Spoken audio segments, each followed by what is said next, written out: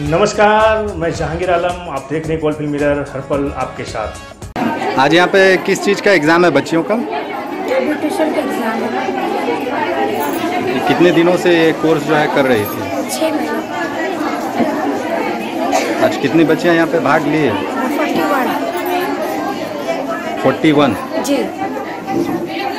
इसके अलावा और और यहाँ पे किसी तरह का कोर्स यहाँ पर बहुत सारी लड़कियों का मतलब रिलेटेड बहुत सारी क्लासेस होती हैं। सिलाई है ब्यूटिशियन है पेंटिंग मेहंदी और आपका ये नर्सिंग सब क्लास होती है। इस तरह का कोर्स यहाँ पे कितने वर्षों से कराया जा रहा है? बहुत सालों से करवा रहे हैं। रजिस्ट्रेशन वेस्ट बंगाल दो हज़ार बारह से।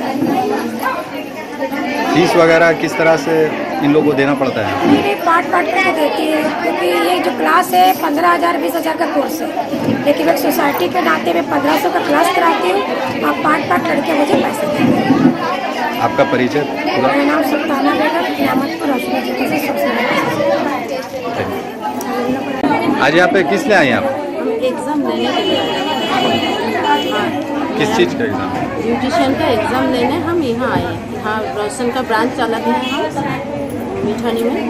आप आए टीचर बन के दीदी का एग्ज़ाम लेने आपका परिचय पूरा? मिठानी का है मेरा नाम है बालानी मुखर्जी। ये सेंटर चलाते हैं प्रोफेशनल सेंटर और ब्यूटिशियन इंस्टीट्यूट सारा कुछ मेरे पास होता है। और यहाँ एग्ज़ाम के लिए दीदी के पास एग्ज़ाम देने आते हैं। धन्यवाद। जी मेरा नाम जयंती दास है। आप अभी क्या कर रहे हैं? जी मैं अभी आंटी के पास से ब्यूटिशियन सीख अभी अपना पार्लर भी खोल चुकी हूँ। अच्छा कहाँ पे सीखे थे जी यहीं पे नियामतपुर रोशन एडुकेशन अच्छा कब से सीख रहे थे? मेरा छः महीना का कोर्स था बस छः महीना से ही सीख रहे हैं। कंप्लीट हो गया कोर्स आपका हाँ जी आज कंप्लीट हुआ एग्ज़ाम तो यहाँ पे प्रशिक्षण कैसे दिया जाता है? बहुत ही अच्छा। इसमें ये पार्लर किए हैं आप? जी। कहाँ पे? ये जो नियामतपुर जो सीतारामपुर रोड हम्म। है स्टेशन रोड वहीं पे अच्छा जी यहाँ पे जो आंटी सिखाती है उनके बारे में कुछ कहना चाहेंगे? हाँ जी आंटी सबको का इंस्पिरेशन है मेरा तो आइडल है। और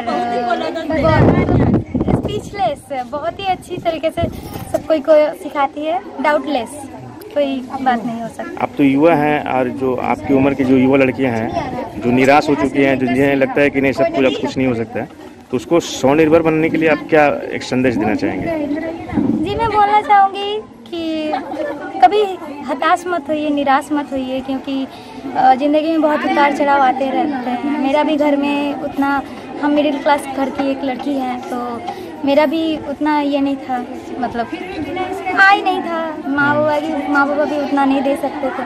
तो मैं भी अपना ट्यूशन पढ़ा के, फिर जो आंटी से सीखी हूँ किसी का मतलब ब्यूटिशियन का, जो भी जितना हो फेशियल वगैरह आईब्रो जितना भी जो भी करके मैं अपना ही पैसा से आंटी के पास से ब्यूटिशियन सीखी। तो मैं हर लड़की को कहना चाहूँगी कि स्वनिर्भर बनिए, क्योंकि स्वनिर्भर बनने का बहुत ही बहुत ही मौका होता है। आप अगर एजुकेशन करते हो, पढ़ाई करते हो तो वो भी काम पे लगाइए। आप कुछ भी काम जानते हो तो वो भी काम पे लगाइए। उसमें आपका जो आय होगा, आप उसी से जो आपका मन, आप वो कर सकते हो। तो इसमें आपको हताश होने वाली कोई बात नहीं है। बस कॉन्फिडेंट रखना चाहिए मन के अंदर आपके माँ बाबा का कितना सपोर्ट मिला? माँ बाबा का सपोर्ट जितना दूर हो सके सपोर्ट करते हैं माँ बाबा हम्म। और अच्छा ही सपोर्ट करते हैं माँ बाबा तो करेंगे। अच्छा ऐसे माँ बाबा को क्या संदेश देना चाहेंगे जो अपनी बेटियों को घर से निकलने नहीं देते हैं या पाबंदी लगा के रखते हैं?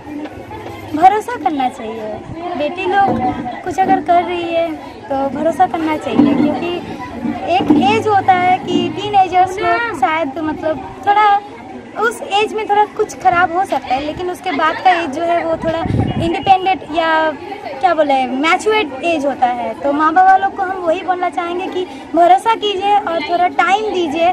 वो लड़की आपका जो है वो एक दिन एक, एक दिन कुछ करेगी।